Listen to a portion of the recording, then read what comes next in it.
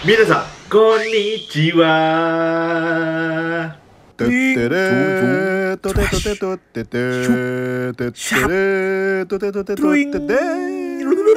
Oke guys, jadi kemarin itu pas aku lagi mau ngerjain soal matematika, aku lagi nyari kertas buat coret-coretan kan. Nah, dari tumpukan kertas itu pas aku ambil, ternyata itu adalah fotokopian rapot aku gitu.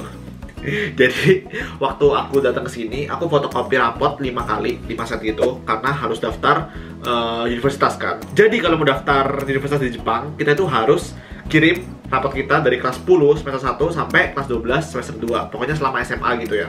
Nah guys, waktu aku nemuin fotokopi rapot ini, aku jadi inget kalau banyak dari kalian yang nanyain ke aku, Bang, berapa sih nilai rapot SMA-nya untuk daftar beasiswa gitu. Jadi sekalian hari ini aku bakal uh, langsung tunjukin aja ya. Tapi guys, jangan jadi nilai aku sebagai kayak, uh aku harus kayak gini gitu. Jangan kayak gitu. Uh, jadiin motivasi aja atau jadiin dia sebagai apa ya referensi aja kira-kira nilai seberapa untuk bisa dapat beasiswa gitu ya. Dan sebenarnya beasiswa itu nggak cuma tentang nilai rapot kan, tapi tes, terus juga kemampuan lain, ada wawancara juga. Jadi ada banyak banget faktornya sehingga kalian jangan terlalu apa ya stres lah gitu. Pokoknya belajar yang rajin, usaha dan jangan lupa berdoa. Oke? Okay? Oke, kita mulai langsung ya. Oke, jadi ini ada dua nilai, ada pengetahuan dan keterampilan ya. Jadi nanti aku bakal langsung sebut dua nilai. Yang pertama pengetahuan, yang kedua keterampilan. Oke. By the way, ini rapotnya kayaknya agak error atau gimana, aku juga nggak tahu. Pokoknya nilainya itu hampir sama-sama semua gitu. Yang pertama, agama 92, 92. PKN 92, 92. Bahasa Indonesia 92, 92. Uh, matematika yang biasa 192. Sejarah 92, 92. Inggris 92, 92. Seni budaya 83, 83. Olahraga 192 prakarya jadi kayak buat buat rangkaian dan sebagainya itu ada 92 92 matematika peminatan 192 biologi 92 92 fisika 92 100 kimia 92 100 geografi 92 92 ekonomi 92 92 nah mungkin kalian nanya loh kok ada geografi dan ekonomi bukannya aku ambil IPA ya jadi aku ambil IPA tapi di sekolah aku itu yang IPA ada lintas minat ya. Jadi lintas minat itu kita harus ambil pelajaran IPS. Jadi di kelas 10 aku ngambil geografi dan ekonomi sebagai pelajaran lintas minat gitu. Oke next kelas 10 semester 2 ini rapotnya juga masih sama sistemnya antara nilainya 92, 100 atau 83 gitu. Oke, agama 92, 100. PKN 92, 92. Bahasa Indonesia 92, 92. Matematika 100, 100. Sejarah Indonesia 100 100 Bahasa Inggris 192 Seni budaya naik 92 92 uh, Penjaskes 100 100 uh, Prakarya 92 92 uh, Matematika peminatan 192 Biologi 100 100 Fisika 192 Kimia 192 Geografi 92 92 Ekonomi 92 92 Jadi geografi dan ekonomi stabil ya stabil Oke okay, next Oke, okay, jadi mulai dari kelas 11 itu sistem rapotnya udah kembali lagi ke awal. Jadi pakai nilai sesungguhnya, bukan dibulatin gitu kayaknya. Aku bacain. Agama 95 93.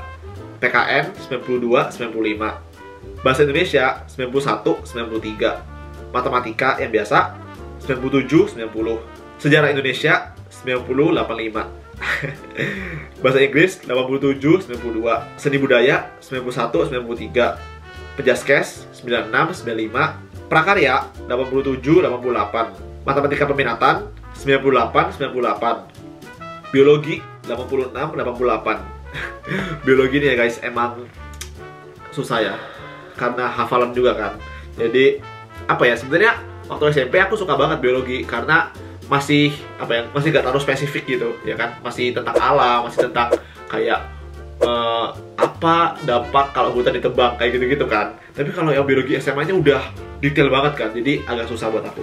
Pada saat aku SMA aku itu fokus ke olimpiade kan. Olimpiade sama paduan suara. Aku juga ikut ekskul paduan suara. Aku lomba-lomba di Korea, aku lomba di Manado waktu itu. Jadi waktunya juga cukup kepake untuk latihan paduan suara ya. Apalagi menjelang lomba itu, deket-deket lomba itu tiap hari latihan gitu sampai malam. Jadi untuk pelajaran di luar matematika, aku biasanya pelajarinnya itu kayak sebelum ujian gitu bukan yang belajar jauh-jauh hari gitu enggak jadi deket-deket ujian kayak seminggu sebelum gitu aku udah belajarin supaya nggak nggak panik gitu fisika 98 96 kimia 94 98 ekonomi 93 93 jadi di kelas 11 ini geografi udah nggak perlu diambil cuma perlu ambil satu uh, lintas minat aku ambil ekonomi 93 93 oke okay.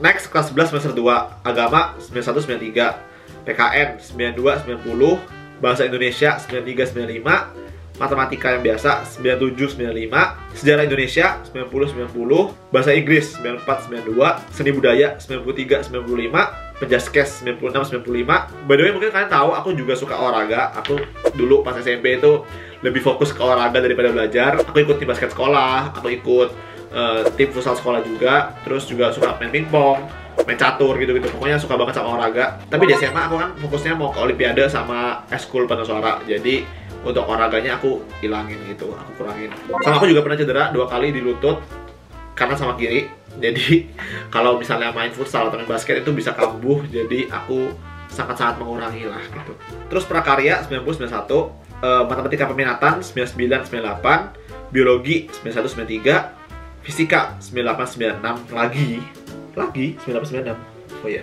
biologinya naik ya guys kimia 94 95 Ekonomi 93 100. Oke, okay, next kelas 12. Nah, di kelas 12 ini, guys, uh, seingat aku itu aku udah mulai persiapan untuk tes beasiswa ke NTU ya, Nanyang Technological University. Jadi, tiap hari itu aku spend time buat uh, belajar matematika, fisika. Jadi waktu itu misalnya ada jam kosong kayak gurunya nggak datang gitu, atau gurunya lagi absen, terus misalnya lagi uh, istirahat atau lagi apa ya, lagi pulang naik angkot gitu atau pulang pergi naik angkot biasanya aku sempetin belajar atau kerjain tugas gitu supaya eh, nggak uh, keteteran sekolahnya dan juga aku bisa persiapan untuk tes beasiswa. Nah bagaimanapun kelas 12 itu kan vital banget ya. Kenapa? Karena kelas 12 itu kan final gitu, tahap akhir dari SMA dan pelajarannya pasti paling susah, paling paling paling berat gitu lah istilahnya ya. Dan ketika kita bisa dapat nilai bagus di kelas 12, maka itu akan jadi poin plus lah buat kita untuk daftar beasiswa gitu. Oke, jadi aku bacain. Agama 98 93, PKN 92 95, Bahasa Indonesia 95 95, Matematika 98 96, Sejarah 88 93. Nah, jadi di kelas 12 ini aku inget banget guru sejarah aku itu lumayan tegas dan kasih nilainya itu juga tegas. Jadi kalau misalnya uh, ada salah dikit atau apa itu gitu. bahasa Inggris 92 90 uh, seni budaya 93 95 penjaskes 97 95 prakarya 91 90 uh, matematika peminatan 99 100 biologi 92 96 fisika 98 97 kimia 96 95 ekonomi 91 95 dan memang dari antara semua pelajaran yang paling aku suka kan matematika jadi nilai yang paling bagus matematika yang kedua paling aku suka itu fisika gitu jadi fisikanya juga lumayan bisa bagus mantap tapi yang paling enak penjaskes sih gimana pun. Penjaskes itu paling enak kayak kayak apa ya? Mata pelajaran yang paling seru gitu. Soalnya main-main olahraga gitu. Oke yang terakhir kelas 12 semester 2 agama 96 94 PKN 97 98 wah PKN tuh kayaknya bagus banget ini di kelas 12 semester 2 Iya, kayaknya paling bagus dari antara semuanya. 97 98 bahasa Indonesia 95 95 matematika 98 95 sejarah Indonesia 87 90 bahasa Inggris 92 92 seni budaya 93 95 Oh ya by the way dari kelas 11 sampai kelas 12 seni budaya itu cukup susah ya guys jadi kita gambar perspektif jadi gambar ada gedung gitu tampak sampingnya kayak gimana, tampak depannya kayak gimana, tampak atasnya kayak gimana gitu. Pakai penggaris. Uh, uh, uh, uh. Sudah kayak anak ini ya, di cafe ya mungkin ya. Gile, tapi seru banget sih waktu itu. Dan cukup memakan waktu gitu. Soalnya kerjain terus kan. Kadang-kadang sampai subuh kerjain. Mantap. Terus penjaskes 9898, uh, prakarya 9595, matematika peminatan 9999, biologi 9295, fisika 9698, kimia 9694, ekonomi 9195. Sama ya? Oh iya, 9195 ya jadi begitulah nilai aku uh, kalau aku bayangin masa SMA aku gimana guys? Kayak aku mikir sekarang kayak kok bisa ya aku SMA kayak gitu gitu? Belajar mati-matian iya. Tapi main juga sama teman-teman. Jadi sekolah aku tuh SMA 5 deket situ itu ada mall Grand City ada juga tempat nongkrongan namanya Ayola. Jadi sering banget nongkrong di Ayola atau di mall itu. Terus eskul juga iya. Aku sendiri bingung gimana waktu itu cara aku ngatur waktunya gitu. Kayak harus ngapain harus ngapain. Cuma yang selalu aku lakukan adalah aku sadar akan sesuatu yang harus aku kejar gitu. Dan gimana pun aku harus bisa dapat itu gitu. Jadi aku selalu mikir aku harus bisa dapat itu. Contohnya beasiswa dan olimpiade aku kayak mikir aku harus bisa dapat itu. Jadi meskipun aku ada eskul ada main sama teman-teman nongkrong gitu aku harus tetap bisa manage untuk sampai situ gitu. Jadi ketika aku rasa persiapan aku atau belajar aku kurang maka aku akan mengurangi kegiatan lain gitu jadi di kelas 12 aku udah berhenti eskul aku benar-benar fokus untuk ke uh, beasiswa jadi ingat masa depan kita atau tujuan dan goals kita itu ditentukan dari apa yang kita lakukan hari ini gitu. Apa yang kita lakukan hari ini akan efek banget ke masa depan kita gitu. Nah tapi jangan lupa dalam mengejar mimpi kita juga perlu istirahat, kita juga perlu refreshing, kita juga perlu berkomunikasi sama teman-teman kita, keluarga kita gitu. Jadi ya tetap fokus sama tujuan kita, manfaatin waktu yang ada dan jangan lupa yang paling penting adalah enjoy the process ya enjoy refreshing itu juga penting tapi jangan jadi malah kebanyakan refreshing atau malah jadi kebanyakan istirahat gitu kalau kebanyakan istirahat ya kita kalah lah sama orang yang lebih berjuang daripada kita gitu Oke, jadi sekian video kali ini. Semoga video kali ini bisa bermanfaat. Buat kalian semua sudah menonton, arigatou gozaimashita. Ja, mata ya, mataku jiwa.